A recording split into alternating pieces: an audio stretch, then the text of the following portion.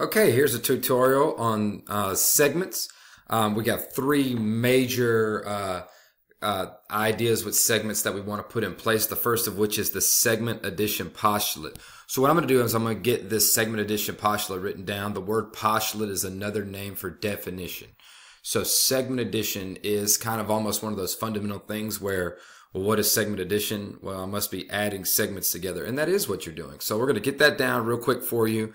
And then you can pause the screen and copy that down if you'd like. So here you go. The sum of the lengths of two segments equals the length of one segment created by the two smaller segments. So it seems like a lot of words that are there that basically tell us that it's okay to add two segments together to get the total length of a segment. So for instance, if there's a segment in example one, uh, that's from A to C and B is somewhere in between there, then you can look at that as A, B, and B, C. So if you drew a picture to kind of match up with what they're saying, they say you got a segment A, C, and somewhere in here, B is between there. Notice that B being between doesn't mean that B is necessarily in the middle. It just means that it's somewhere in between A and C.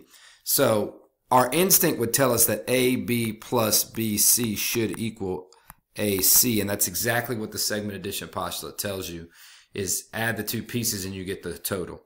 So that's what we're going to do for that problem right there. We're going to go ahead and figure out um, what the length of AC is according to the information that's here. So they told me that AB is 4 inches, and they've told me that BC is 2 inches, and even though my picture doesn't really match up with that, I could tell that I need to just add those two together and get a total of six. So AC must be six. Now I know what you're thinking. Oh my gosh, that's really easy. Well, that's the foundation of what we're working with. Obviously, we can make that more complicated, throwing in some algebraic expressions and having to do a little bit more solving. But that is the bare bones of what's going on. Part plus part equals the total. All right, let's try it a little more complicated if L is between N and M. So first, I'm going to draw a segment here for N and M.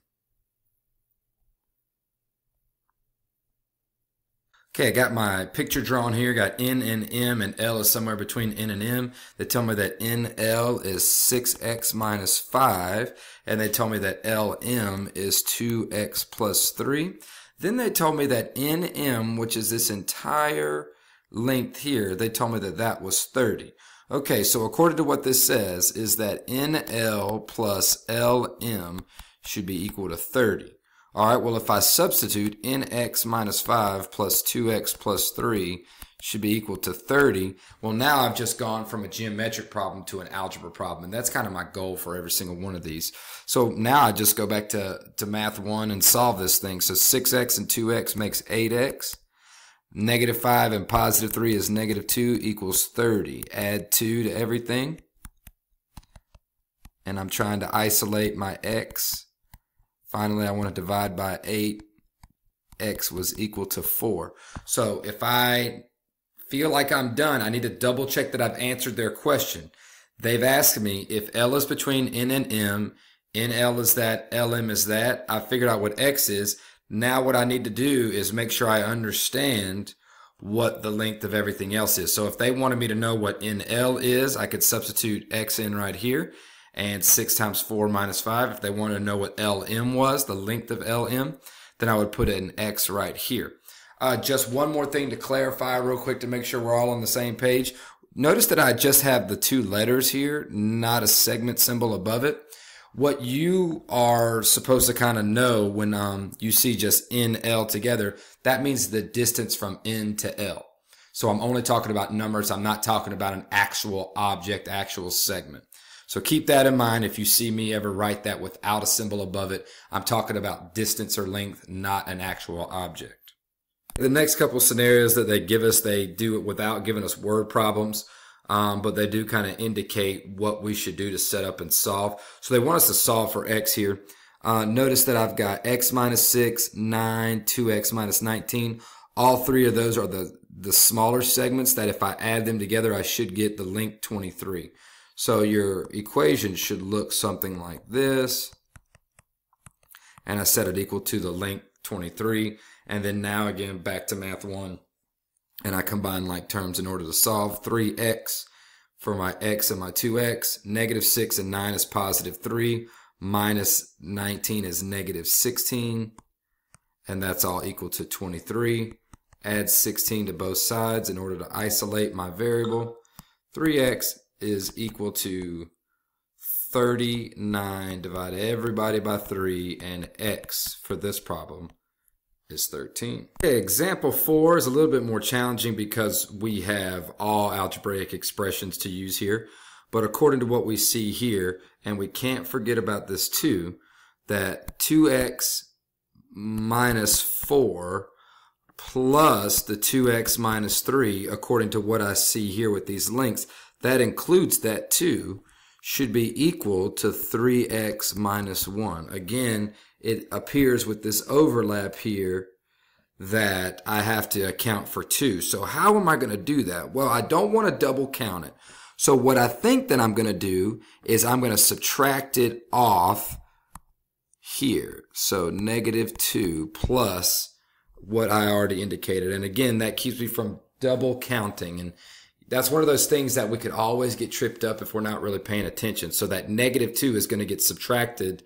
That's what adding a negative 2 does. It subtracts 2 um, to keep me from double counting as I do have overlap in this area right here. All right, so let's uh, combine like terms. Uh, 2x and 2x makes for 4x. Negative 2, negative 4 is negative 6. Negative 3 more is negative 9 equals 3x minus 1. Subtract 3x from everything. X minus 9 is equal to negative 1. Adding 9 here is x is 8. So x is 8. And what I can now do with that is answer their question. Again, like we said earlier, when you see BD, that means the length of segment BD or the distance from B to D. So BD would be right here, 2x minus 4. So I could substitute 8 for x, and now I can simplify to get the length of BD. 2 and 8 times 8 is 16 minus 4. 16 minus 4 is 12, and that's what BD is. Topics is this idea of midpoint. And a midpoint literally is what the name says it is, a point in the middle of a segment.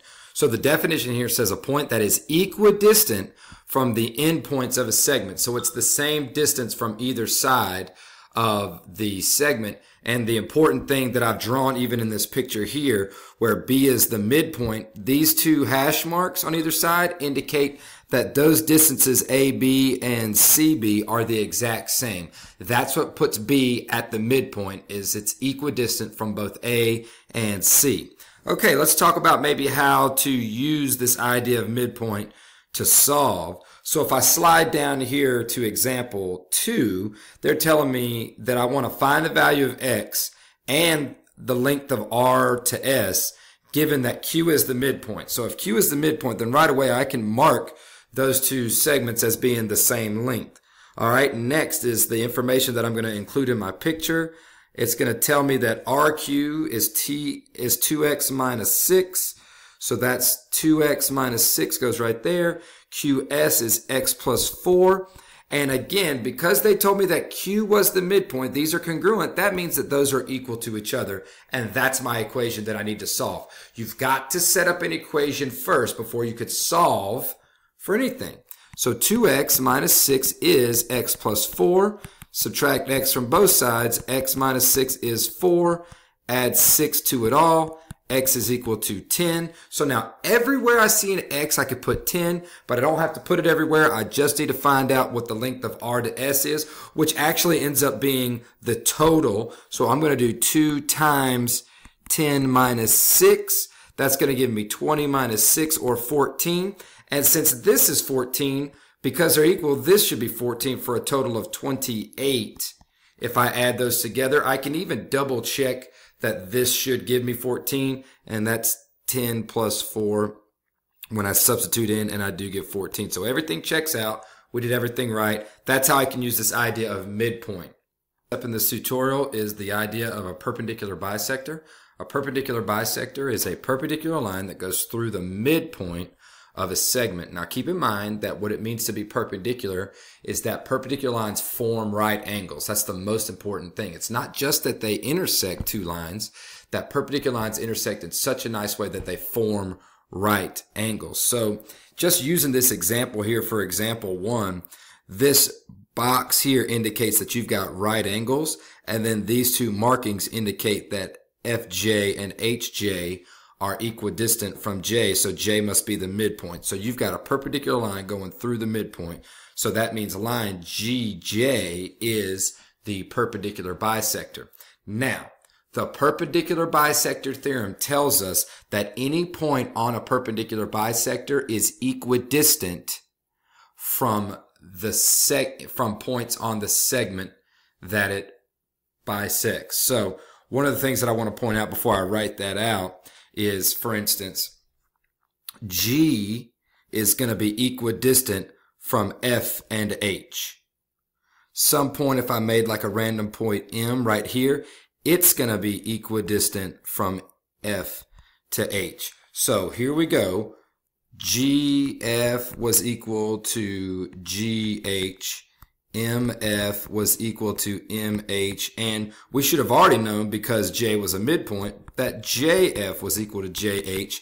But again, J is on the perpendicular bisector, so it's equidistant from the endpoints of whatever it bisected. So here we're going to write that. Perpendicular bisector theorem says any point on on a perpendicular bisector is equidistant from the endpoints of the segment that was bisected. So I would encourage you to pause your screen real quick and make sure that you have written down your definitions and your relationships. So now that we've discussed what the perpendicular bisector theorem is, we're going to actually put it in motion. So line GJ is a perpendicular bisector, and um, we're saying that any point on the perpendicular bisector is equidistant from the endpoints of the segment that got bisected. So we pointed out that GF is the exact same length as GH because G this point should be the same distance from the endpoints of the segment FH that got bisected. Well, if this is 14, that means that this right here should be 14. And that's what they wanted us to find is the length of HG. So GH and HG, they are the same thing, and that's 14. Okay, so looking over here at example two, they make it a little bit more challenging, but you can see there's our perpendicular indicator with our right angle. There's our bisector indicator with the D being the midpoint because the segments on either side are congruent. So line DB is a perpendicular bisector of segment AC. So that means that BC should be the same as BA. All right. Well, that means that um, 2x plus 6 should be equal to 3x plus 1. Well, there's my equation to solve. So I could solve for x and plug it back in anywhere I see x. So subtract 2x from both sides. 6 is equal to x plus 1. Subtract 1 from both sides and 5 is equal to x. Now, anywhere I see an x, I could put a 5. So 3 times 5 plus 1 and 2 times 5 plus 6. Now, these should be equal, but we'll check them just to make sure everything we're saying is correct. 15 plus 1 is 16. 10 plus 6 is 16. So each of those are 16. Now we can answer the questions. AD and BC are the two lengths that I'm looking for. Well, these are congruent according to the information that they gave us. So both of these should be 12. There's my AD. And then BC is this length here. So that's 16. So 12 and 16 are two pieces of information. But if they would have asked me any other piece of information, I could have found that as well.